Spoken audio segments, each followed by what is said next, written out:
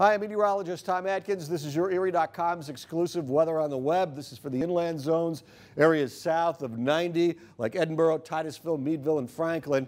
After some showers, but most of the time dry and muggy on your Friday night with lows in the 60s. We're looking at muggy sun on Saturday, chance of a storm in the morning. Other than that, 82 to 86 for your afternoon highs. Sunday, more sweltering weather, highs near 90 partly to mostly sunny, continued steamy, and that will last into Monday.